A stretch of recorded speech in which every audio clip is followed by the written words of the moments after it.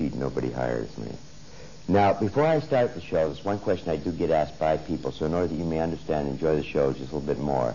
People say to me, Martin, for once in your life, please be honest with us. Is this an honest deck of cards? Is it marked? Is it gimmicked? Or is it tricked up in some way?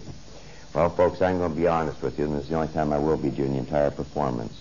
I buy my cards in a drugstore, and that's the way I use them. And as you'll see, the cards are honest. It's only the hands that cheat. So welcome to the show. It's cheating time. And so your name is? Adrian. Adrian? Adrian? Nice to have your table, Adrian. Martin Nash, and your name is? Steve. Steve. Steve and Adrian. Adrian and Steve. Sounds like an old vaudeville routine, doesn't it? Yes. And let's see. Yep, they're all there. Don't you count cards that way? No. Oh, I thought everybody did. And you know, as I travel around the world, I guess the one question that I get asked about a deck of cards, probably more than any other, and that is, Martin, how do you shuffle those things? Because quite truthfully, most people do not know how to shuffle a deck of cards. If you watch people, it can be interesting. As an example, Steve, I don't know if you've ever noticed this or not, but the bigger the game, the more the money, the worse the shuffling. Right? It's true. Real big money game is always somebody who takes a deck of cards, does just three times, drops two on the floor, and tells me he shuffled it. Done nothing but cut it. Bridge players, they spend considerable time learning this one. It's a very pretty shuffle. But then for some reason, they always tip the deck up this way and let everybody see the bottom card. Now, you shuffle for your partner. That's the last card he gets in his hand, and everybody knows it. And that's why all gamblers are required to shuffle the same way, right onto the table. Nice even meld, and then they always give it a few cuts to confuse the issue. On the other hand, if I want to show off, I do it like this. Well, Adrian, everybody's doing that now, so I don't bother with it anymore. The most popular shuffle used around the world, the Haymau, the overhand shuffle. Many ways, which indeed we do shuffle a deck of cards. Gentlemen, we're going to play poker. You don't mind, Adrian? I cheat. Not much, only when I have to. In my business, I have to. Steve, would you please cut one half the deck over here? Thank you.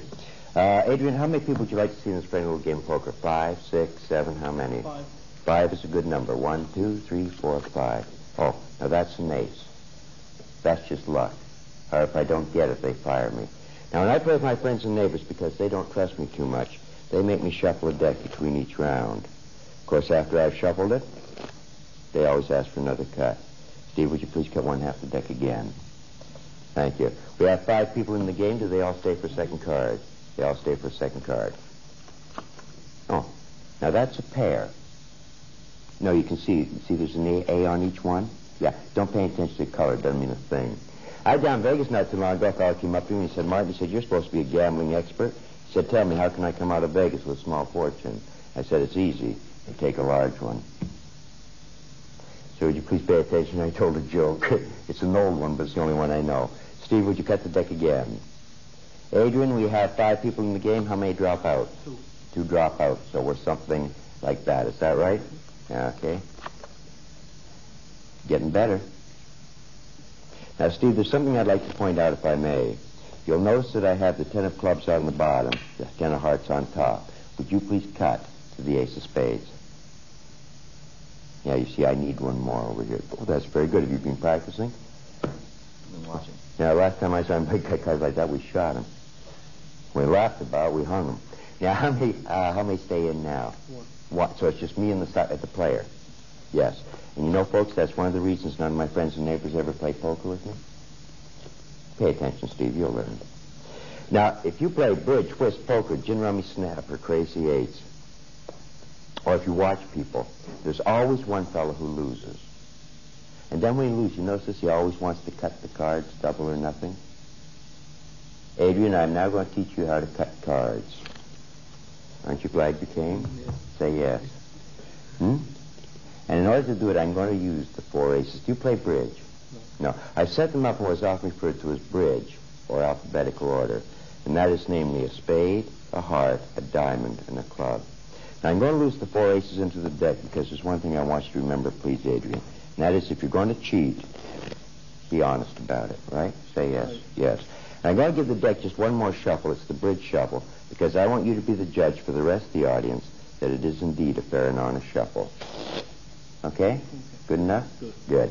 Now, when I go to cut cards with friends and neighbors of mine, for some reason I've never been able to determine. They don't trust me too much. No, really. So usually what happens is the fellow over here always starts telling me a joke while the fellow over here makes sure there's not an ace on the bottom. And he throws me the punchline while the fellow over here makes sure there's not an ace on top. Then when it's my turn to cut the cards, to make me do it with one hand like that. Amy, would you please pay attention? I'm trying to teach you. Would you like to see that again? Say uh, yes. See, you never have an ace down here. You never have an ace up here. Take the deck, one hand, make a cut, get an ace. I know something Steve Adrian doesn't understand. Well, you're having a problem, too. Tell me, would it help you if I did it for you with the cards face up? Say maybe. Maybe. Maybe. As I say, never keep an ace down near the bottom. Never keep one up near the top. People know you can cheat that way. Take the deck, one hand, make a cut, get an ace. Would you like to see something difficult? Say yes. Yes. This time, I will not cut to the ace of spades. What I will attempt to do is to cut to the one and only card in the entire deck that from wherever it is in counting its value will count down to the ace of spades. Steve, do you have any idea at all in the world what I'm talking about? Yes. Then would you explain it to me because I don't have a clue. Okay, here we go. Now, please remember, on the bottom of the deck I have a six. On top of the deck I have a seven. I said I would cut to a card somewhere near the center. Now, the card I cut to is a ten. I said wherever it was in counting its number, one, two, three, four, five, six, seven, eight, nine, ten. Would you care to make a small wager? No. Thank you. Now, if you play bridge, whist, poker, or any particular game, I am now going to show you how to save some money. And ladies and gentlemen, I mean this very sincerely. If you should ever meld four of a kind, such as the four aces, a straight, a flush, in other words, any group of cards is easily memorized. Never ever take them as a packet, put them into the deck, and then attempt to shuffle it. There is, of course, a reason I say that. The average person right here, right now, can shuffle this deck five times and not separate those four cards completely. The reason? Most people, when they shuffle cards, shuffle in blocks four to seven cards. Every professional gambler in the world knows this. He uses it to his advantage. Because he knows when one of those cards comes out, the odds are one or more will follow. He bets accordingly. He could win a great deal of money. What I suggest people do is extremely simple. Just take the cards and insert them at random throughout the deck. See, Adrian, by doing that now, the aces are already separated. So if you square them up, push them in flush, and then shuffle, nobody can know the order, the position, and if one ace follows the other, nobody can know it anyway. By the way, Adrian, do you play poker at all? Little. Little. When you do, what's your favorite game? Draw, stud, seven, low ball, what do you like? Seven. Seven is a good game. Mine's draw. Do you know why? That way nobody ever sees what I'm getting in my hand. Now I'm going too fast again. I can t- pay attention, Steve. You'll learn it before the evening's over. Now, once you have the cards you want on top, you can do anything. Now, Adrian, I'm going to shuffle the deck, and I want you to keep your eye on one, two, three, four aces. Keep your eye on those four aces right there, because I'm going to shuffle the deck four times. And if you watch carefully, you'll notice that they're going down something like an elevator. And if I've done it correctly, the aces, of course, are no longer on top. What I've now attempted to do is one at a time and alphabetically spade, heart, diamond, club, shuffle them down to the bottom. You may go home and practice after the show, Steve. You'll learn to make a fortune. And now, folks, I'm going to tell you all a true story. I know this is a true story because I make it up as I go along. Last Friday night, I got hustled into a game of poker. You believe that, Steve? You believe that, and you'd buy anything, let me tell you. Now, folks, I'll be honest with you. It was a Friday night, and I was working late. Because it was late, I was tired. Tired, I was lazy, so I used a marked deck of cards. That's understandable, isn't it? Yes. Now, a marked deck is not like this. A marked deck is simply a deck that you can tell each and every card from the back as easily as most tell it from the face. Now, after the gentleman to my right cut the cards, because they were marked, I happened to notice that the ace of spades was on top of the deck, which, of course, is a very good card. And tell me, Adrian, how many people would you like to see in this friendly little game of poker? Four. Four. One, two, three, four. Now, when I went to the... Well, you didn't think I was going to give the ace of spades to them now, did you? Now, ladies and gentlemen, I've been photographed doing this many, many times on both television and on film in slow motion. Now, I've never, ever tried to tell anybody that the slow motion camera can't see the other cards coming out of the deck, because obviously it can. What it could not see was how I got them. There I was dealing with the deck in the normal position, face down. I'm now going to attempt to do it with all the cards face up, so you may catch me. Are you ready, Steve? Yes, you sure you're ready? Yeah. Ace, you're positive. Ace of spades. Watch carefully. Ace of spades. You ready now? Ace of spades on top of the deck. Would you like to see that again? Why not? Why not? Of course, you see, if you want, you can deal all day, and the ace just stays there, and in slow motion. Now, a little while later on in the evening, we're playing blackjack. Now, of course, in blackjack, the ace of spades is the best card in the deck, but they deal a little bit differently. Somebody asks for a card, give them one. You give them that, get the ace here. Pay attention. A little while later on, the fellow over here made a small bet. Now, remember, folks, I want to win because if I lose, I've got a cheap place to get my money back. Ace of spades on top of the deck. He asked for a card. Gentleman over here asked for change, so I gave it to him with one hand. While another gave him that, kept it here. On the other hand, if I'm dealing face down, I don't want the top card. I can deal to myself like this, to a partner like that, and it still stays here. Am I going too fast for you, Adrian? No, you're just watching too slow, right? Now, when you're playing stud, you're required to call out each card that's dealt, such as a seven or a three, but you keep the ace. People have said to me, okay, Martin, you think somebody's cheating? What do you do? Folks, I've asked this question of professional gamblers literally all over the world. And by and large, every single professional I've ever talked to said, Martin, make them hold the deck lengthways in the hand. Because by holding it in this position, these fingers are fully stretched out. It digs into the palm and it literally cramps the hand. And according to professionals, nobody has ever learned to hold a deck of cards like this, deal them on the table, and keep an ace up here. Would I lie? It's conceivable. Just a moment ago, I was talking about the most popular game in Nevada today, which, of course, is the game of blackjack.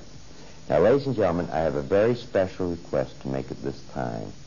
Please pay very close attention to what I'm now about to say. It is extremely important. What I'm now about to show you will never, ever happen to you in any casino anywhere in the world. Please understand that. The odds are it will never happen to you in any private game anywhere in the world. The reason, to my knowledge, I don't think there's five people in the world who can do this. Blackjack is not a North American game. It was invented in France in 1750 where it was known as Vint and, and or 21. It went to England where they called it pontoon, where they now call it poon. But during the days of the riverboat gamblers, the early 1800s, it came to North America.